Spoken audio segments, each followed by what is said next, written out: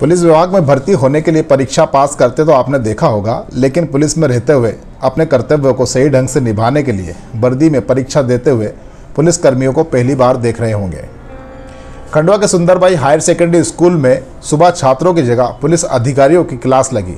दरअसल, उनकी इस क्लास का मकसद यह जानना था कि पुलिस अधिकारियों को यह पता है कि नहीं, उन्हें महिला और नाबालिग बच्चों के मामले में किस तरह कार्रवाई करनी है। खंडवा पुलिस अधीक्षक विवेक सिंह ने बताया कि वर्तमान में महिला संबंधित अपराध और बच्चों के खिलाफ कोई अपराध होता है तो जब वह पुलिस के पास आते हैं, उस समय पुलिस की तरफ़ से कैसा व्यवहार होना चाहिए, उनके बचाव के लिए क्या किया जाना चाहिए, उनके क्या नियम है, क्या कानून है, इसकी जानकारी पुलिस अधिकारियों को होना बहुत ज़रूरी है। इसलिए लगातार पुलिस अधिकारियों की ट्रेनिंग और प्रशिक्षण होते रहते हैं। इसलिए यह ज़रूरत महसूस हुई कि क्या पुलिस अधिकारियों को सही जानकारी है या नहीं? इसके लिए यह परीक्षा का आयोजन किया है। इस परीक्षा के माध्यम से उनका वैल्यूएशन किया जाएगा, जिससे यह पता चलेगा कि उन्हें किस तरह प्रशिक्षण और दिया जाना चाहिए।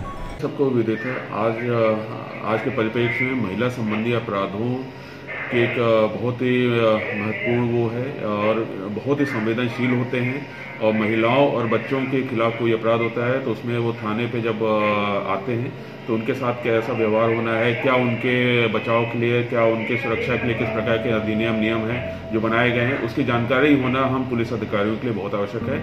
उसी तारतम्य में लगातार ट्रेनिंग्स और प्रशिक्षण होते रहते हैं।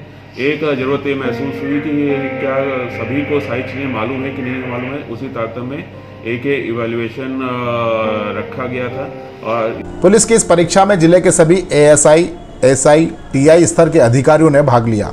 खंडवा, हरसूद, मूंदी के पुलिस अधिकारियों ने यह परीक्षा दी। इस परीक्षा में उत्कर्ष अंक लाने वाले अधिकारियों को पुरस्कृत भी किया जाएगा। से लेके इंस्पेक्टर लेवल के अधिकारी इसमें पार्टिसिपेट कर रहे हैं। और कुछ लोग जो छूट जाएँगे अभी विभिन्न कारणों से छुट्टी या स्वास्थ्य कारणों से तो उनको अलग से फिर उनका एग्ज़ाम हो जाएगा।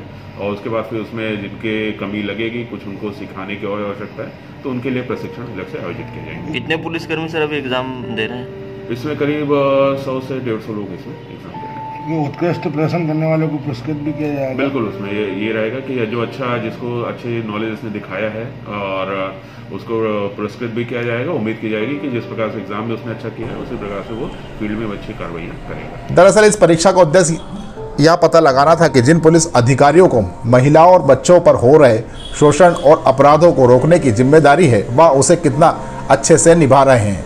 यह परीक्षा पुलिस विभाग की अंतरिम परीक्षा होती है। इसके रिज़ल्ट के आधार पर पुलिस अधिकारियों को अपने कर्तव्यों के लिए तैयार किया जाता है।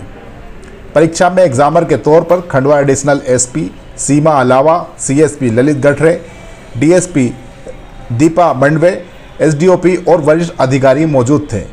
Tej news report.